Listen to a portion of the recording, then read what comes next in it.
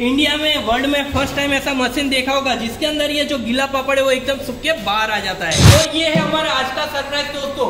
ये एक हमने ऐसा मशीन लॉन्च करा है, जिसके अंदर पापड़ सुख के बाहर आते हैं। है सूखा पापड़ जैसे कि आप देख सकते हो, ये एकदम यहाँ से हो जाता है क्रिस्पी दोस्तों, उसी के साथ में मैं आपको ये भी बताना चाहता हूँ पूरा सिंगल फेस बिजली से चलता है। यानी कि अगर आप अपने घर से ये मशीन का पूरा सेटअप लगाते हो तो भी आप इस बिज़नेस को करके यहाँ से अच्छे से अच्छा प्रॉफिट कमा सकते हैं। हेलो दोस्तों, आज मैं आपको एक बहुत ही अच्छी पापड़ बनाने की मशीन दिखाने वाला हूँ। दोस्तों, ये एक ऐसी मशीन है जो कि हम first time in India launch कर रहे हैं। क्योंकि इस मशीन का पूरा सेटअप ही अलग है। जैसे कि आप देख रहे हो कि यहाँ पर हमने इसका जो भी आटा तैयार करा है उसे डाल दिया अभी इसकी कटिंग हो रही है। कटिंग होने के बाद इसका फाइनल प्रोडक्ट जो आपको मिलेगा, वो एक बहुत ही बड़ा सरप्राइज़ होने वाला है। जैसे कि आप देख रहे हो, बहुत ही बढ़िया, अच्छी तरह के इसकी जो भी हो रहा है प्रोसेसिंग अच्छी तरह से अभी इसकी कटिंग आप देखोगे आगे।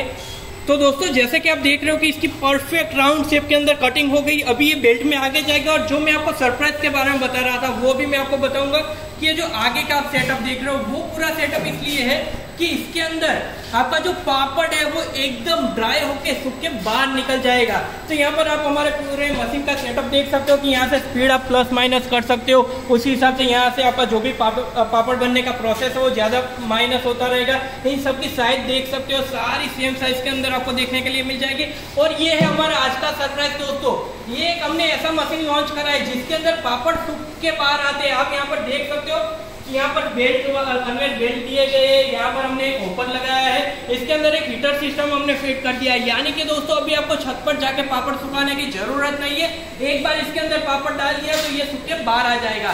तो चलिए दोस्तों, अभी हम देख लेते हैं कि फाइनल पापड़ हमारे किस तरह से बाहर आते हैं। तो यहाँ पर हमारे पापड़ बाहर आने स्टार्ट हो गए। यहाँ पर आप देख सकते हो कि ये सूखे पापड़। और मैं आपको बताना चाहता हूँ तो दोस्तों, यहाँ पर मैं बताना चाहता हूँ, ये मशीन के अंदर हमने डाले थे, ये है हमारा गीला पापड़ और ये जो अभी मशीन से बाहर आ रहा है, ये है सूखा पापड़। जैसे कि आप देख सकते हो, ये एकदम यहाँ से हो जाता है क्रिस्पी इस तरह से सूख जाता है। आपने इंडिया में वर्ल्ड में फ़र्स्ट टाइम ऐसा मशीन देखा होगा, जिसके अंदर ये जो गीला पापड़ है, वो एकदम सूख के बाहर आ जाता है। तो अगर इस मशीन के बारे में ज़्यादा जानकारी लेना चाहते हो तो आप हमारी कंपनी को डायरेक्ट यहाँ पर कांटेक्ट कर सकते हो, यहाँ पर विज़िट कर सकते हो, और इस मशीन के बारे में ज़्यादा से ज़्यादा इन्फॉर्मेशन आप जान सकते हो।